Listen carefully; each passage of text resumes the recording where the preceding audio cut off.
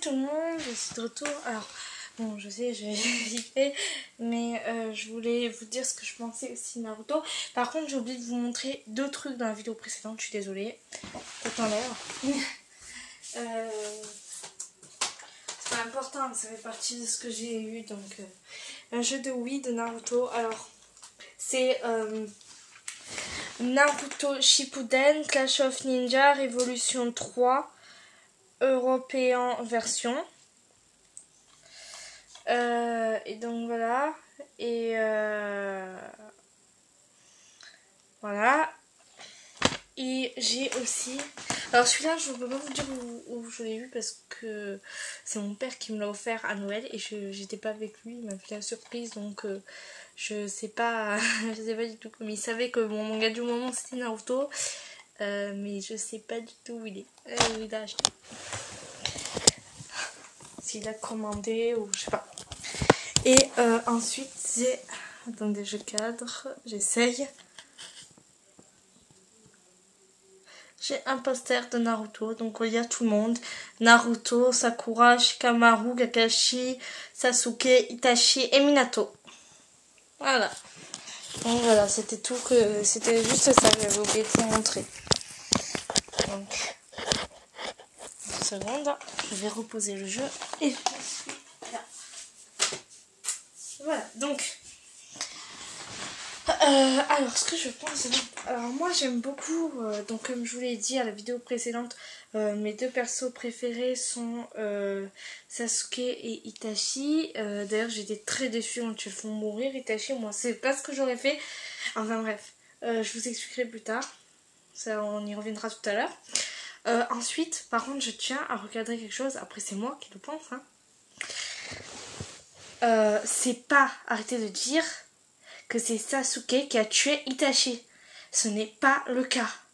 Parce que déjà, il était malade. Ils nous le disent à un moment. Il avait une maladie. Donc, je vais éteindre. Euh, allumer, pardon. Donc, désolée, je suis désolée. Donc, de 1, il avait une maladie. Et euh, de 2, Zetsu même le dit, il ne bougeait pas comme d'habitude. Euh, il ne bougeait pas comme d'habitude, donc apparemment il serait beaucoup plus fort que ça, même si moi j'ai trouvé déjà assez fort pendant le combat quand même. Euh. Bon, alors est-ce que c'est dû à sa maladie ou est-ce que c'est dû au fait qu'il combat son petit frère, qu'il aime en réalité? Bon, on sait pas.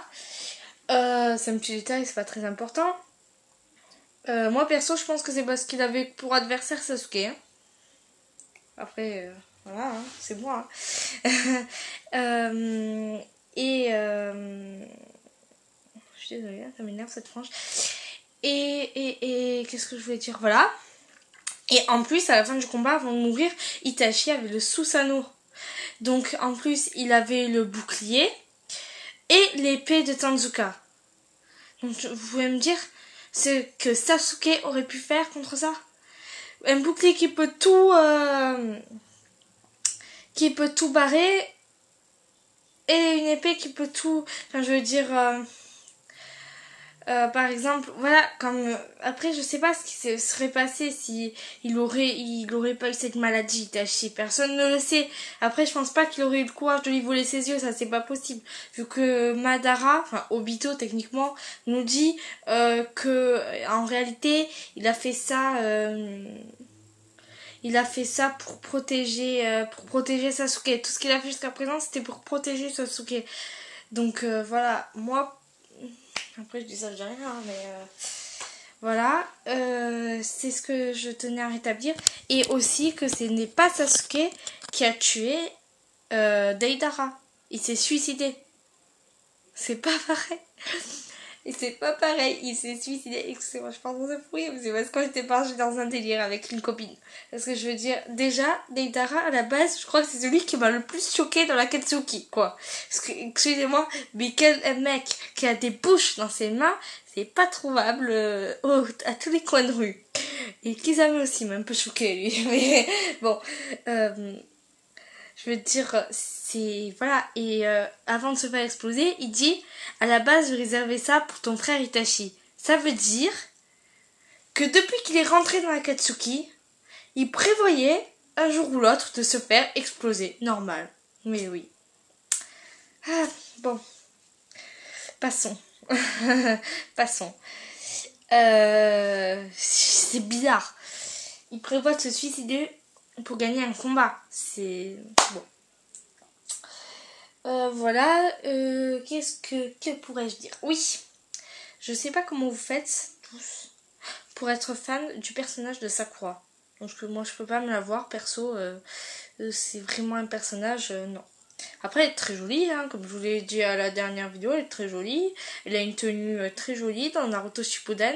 Je la préfère euh, dans Shippuden, moi, perso. Ça lui va beaucoup plus les cheveux courts, en plus.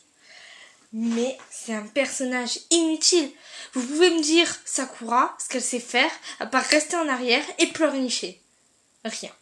Après, je veux dire, euh, moi, même, en fait, c'est une girouette, cette fille. Parce que elle dit, même moi ça m'avait ému sur le coup parce que je la, euh, je la détestais, mais je la détestais, mais ça m'avait ému que quand euh, y a, euh, ils sont à l'épreuve de sélection des Chunin, que Naruto et Sasuke ils sont dans le coma et que Lee il est à terre parce qu'il veut essayer de la défendre et que Sakura se fait attraper les cheveux là par une, une ninja du village caché de sang. Euh, elle a dit je voilà je serai plus un boulet euh, désormais vous pouvez compter sur moi et tout.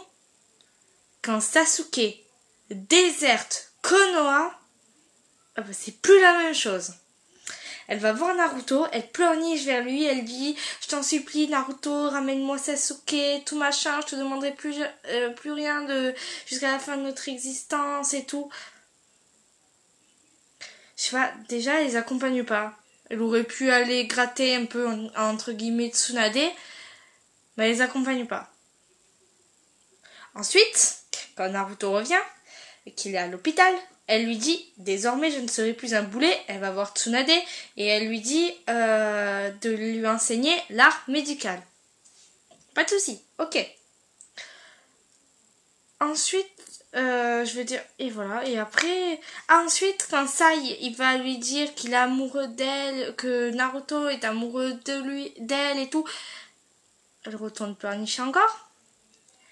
Enfin bref, en fait, je vais pas tout vous dire, parce que c'est n'importe quoi, ce personnage est très mal écrit, c'est, en plus, je veux dire, tous les personnages, même les méchants, ont eu un passé difficile.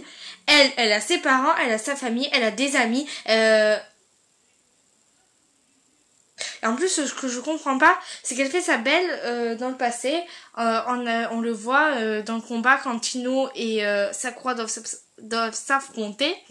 Elle fait sa belle en disant, en rendant son ruban rouge là, en disant Aino, oui, je peux plus être ta meilleure amie parce que nous sommes toutes les deux amoureuses de Sasuke, je sais plus quoi. Pourquoi tu veux plus être amie avec elle alors que c'est ta meilleure amie?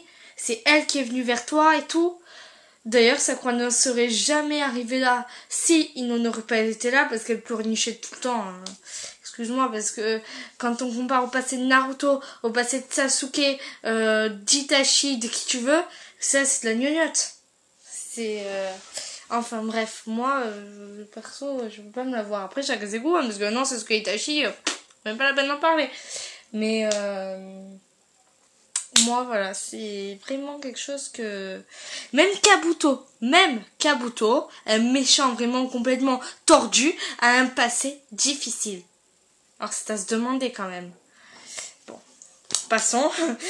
Euh, après, voilà. Donc, revenons-en aux méchants, justement. Ce qui est bien, c'est que chaque méchant, quasiment chaque méchant, a son histoire. Et ça, c'est franchement bien parce que, je veux dire, ils se sont pas dit comme ça du jour au lendemain, bah tiens, si j'étais méchant, ce serait cool, non? Je sais pas, c'est... Non, ils se sont pas dit ça. Et, euh...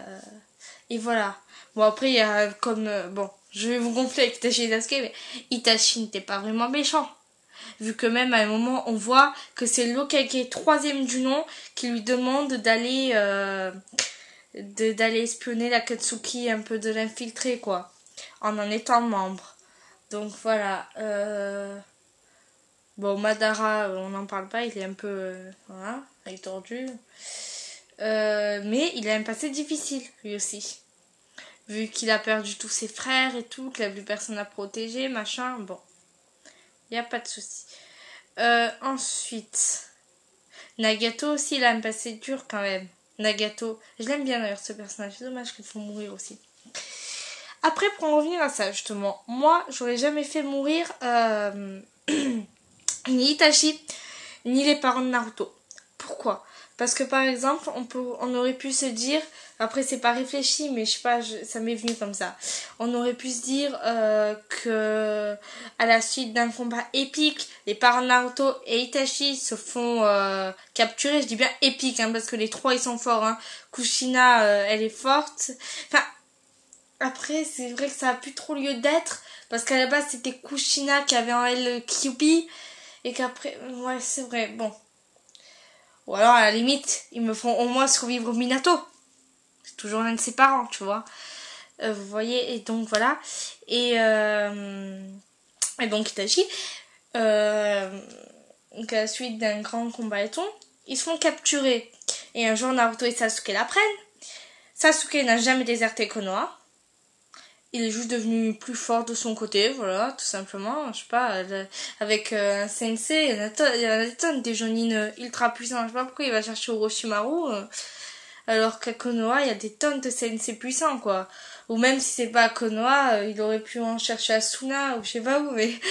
enfin, je dis un peu n'importe quoi, là. On s'égare. Mais bon, bref. Sasuke n'aurait pas déserté Konoha, et donc un jour Sasuke et Naruto l'apprennent, et ils vont se mettre, ben tous les deux, ils vont se mettre en quête pour les retrouver et ils vont y arriver un jour ou l'autre. Euh, et c'est là que ça va clore la fin du manga. Et j'aurais pas fait durer aussi longtemps aussi parce qu'il y a des épisodes qui sont un peu inutiles, un peu beaucoup même.